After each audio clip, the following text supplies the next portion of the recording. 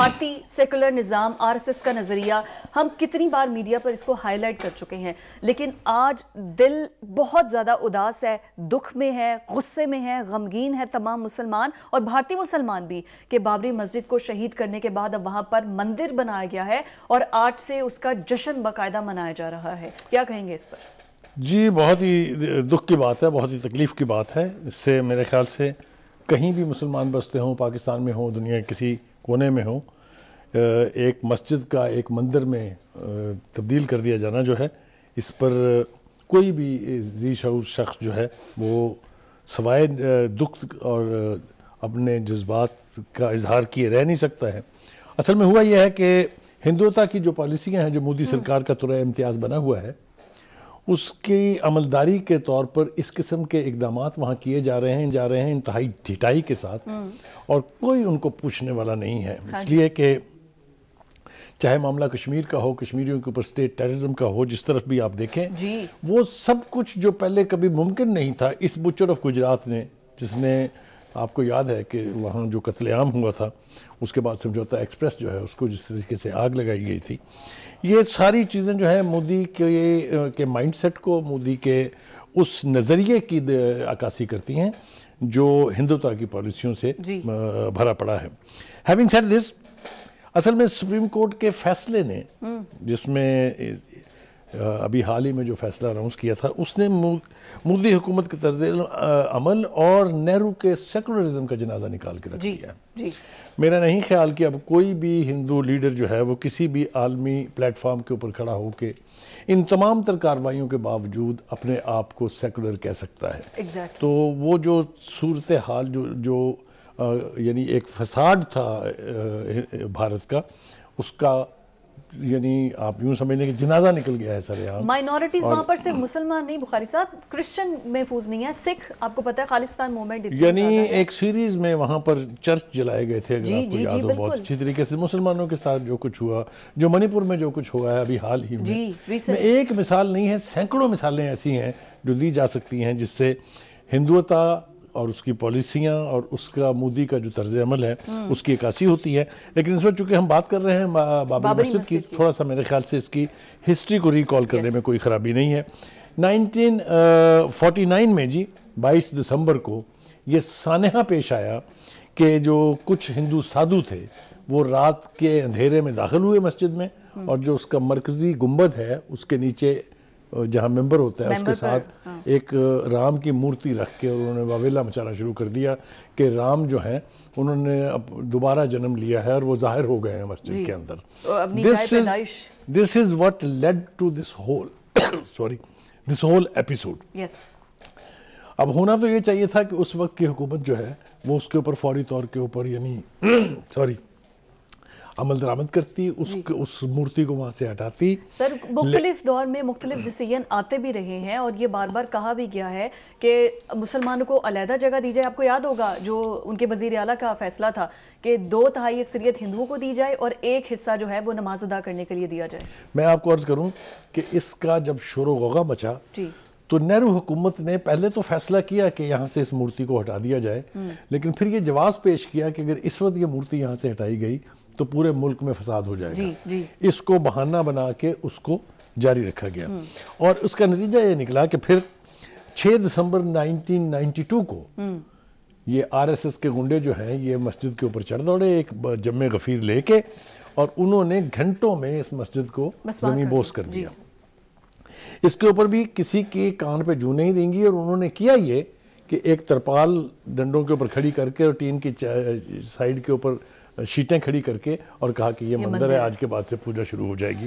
ख्याल ये था लोगों का कि शायद अभी इंसाफ की कोई रमक बाकी है हिंदू माशरे में और शायद सुप्रीम कोर्ट एक ऐसा फैसला कर दे कि मुसलमानों के जज्बात की तर्जमानी भी हो जाए और उनका दुख जो है वो भी दूर हो जाए। लेकिन जैसा मैंने कहा कि आरएसएस के होते हिंदुता पॉलिसियों के होते और ख़ास तौर से बुचर ऑफ़ गुजरात के होते हुए वहाँ किसी कोर्ट से ये तो करनी कि वो हकायक पर वो मुनसफाना तौर पर कोई फ़ैसला कर देंगे ये मेरे ख्याल से नामुमकिन बात है। मेरे दुख की एक और वजह भी है। जी।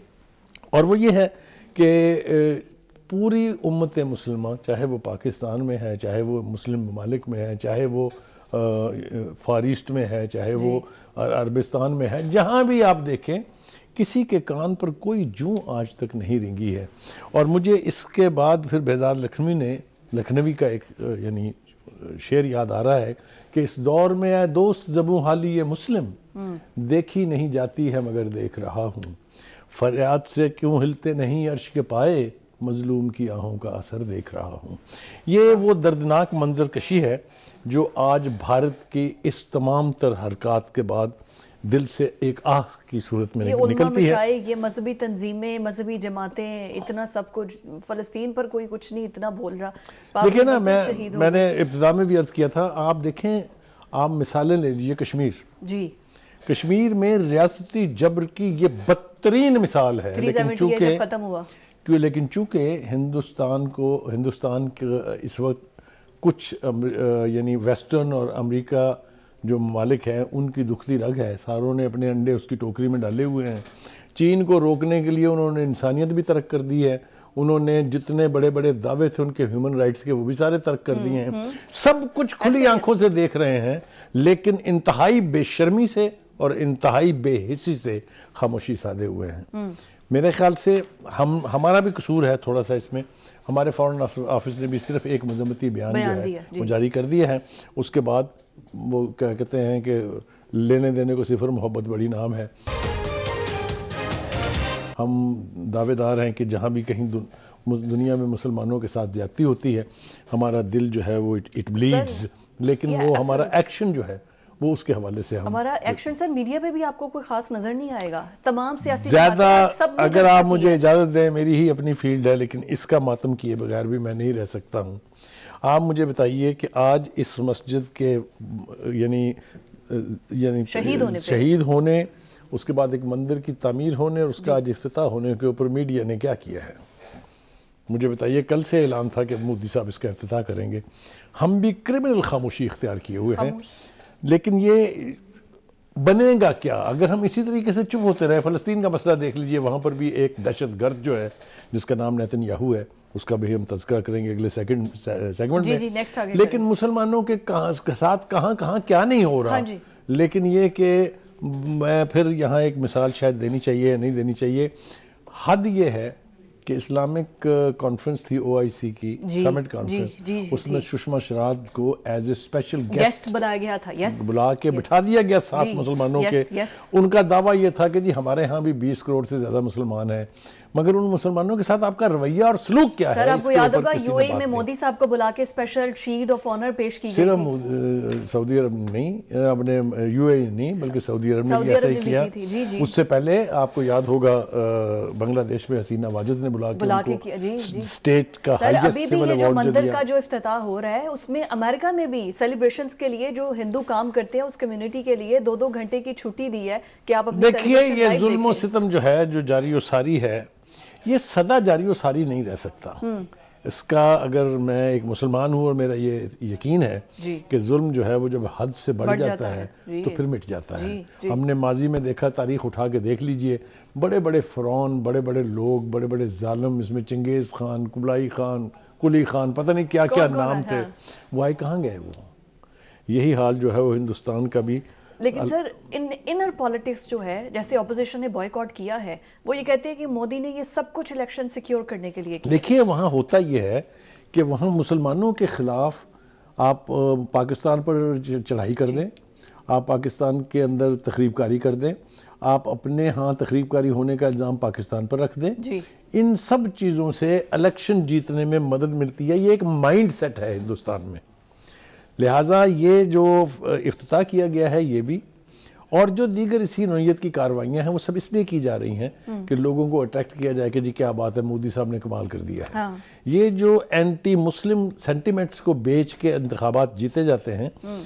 उसका नतीजा पहले कांग्रेस भुगत चुकी है और अब मेरे ख्याल से बीजेपी भी भुगत के रहेगी इस वक्त जो है वो हम अपने जो हिंदुस्तान में मुसलमान बसते हैं जी उनके साथ अपने लेवल पर तो सिर्फ़ इजहार हमदर्दी कर सकते हैं हम्म। और उनके दुख में कह सकते हैं कि हम आपके बराबर के शरीक हैं हम्म। लेकिन अगर आरएसएस की जो तरीक़ाकार है जो दहशतगर्दी है हिंदुअती हिंदुअता की जो पॉलिसियाँ हैं और मोदी साहब का जो वतीरा है अगर इसके ऊपर यानी बंद ना बांधा गया तो मुसलमानों की सूरत हाल सर हम बंद कैसे बांधे? सुप्रीम कोर्ट जो कि इंसाफ का मैार वो उसके साथ है। बड़े बड़े बिज़नेस टाइकोन जैसे अमित शाह और ये मुकेश अंबानी की हम बात कर रहे थे कि वो सब भी इस सेलिब्रेशन में साथ है पूरे इंटरटेनमेंट इंडस्ट्री साथ है। जो जो भी सिविल राइट्स और वो तो खैर छोड़ दीजिए वहाँ पर जो मुसलमान। बॉलीवुड इंडस्ट्री से मुंसलिक हैं वो तो सारे के सारे जो हैं वो उनके साथ हैं। कोई इसके बारे में ज़्यादा सोचने की भी ज़रूरत नहीं है शर्मनाक शर्मनाक बात उनको इनवाइट नहीं किया गया। बाकी सारे तो पैट जो थे उनके सेलिब्रिटीज नेचुरली वो इसको बना रहे हैं एक बहुत बड़ा इवेंट ताकि जो इलेक्शन जो है सरों के ऊपर है। हाँ पहले आपने देख लिया कि रियासतों में उनके साथ क्या हो चुकी है इसलिए वो अब ये इलेक्शन हारना नहीं चाहते और हर वो कदम करेंगे हर वो यानी एक्शन लेंगे जिससे उनका वोट बैंक जो है वो स्ट्रेंथन हो। और अल्टीमेटली हिंदुस्तान के लोग जो हैं उन्हें इलेक्ट करके दोबारा असम्बलियों में भेजें सिर्फ़ इलेक्शन जीतने की खातर। मुसलमानों के साथ ये रवैया अख्तियार करना उनकी इबादत गाहों की त- हाँ। करना ये मेरे ख्याल से इसका एक ही तरीका है कि हम इंटरनेशनल लेवल पर डिप्लोमेटिकली हाँ। और कल्चरली इसको एक्सपोज करके और प्रेशर डालने की कोशिश करें मोदी साहब के ऊपर कि वो थोड़ा सा बिहेव करें। अदरवाइज़ सवाए इस बेहिसी का मातम करने के हमारे पास कोई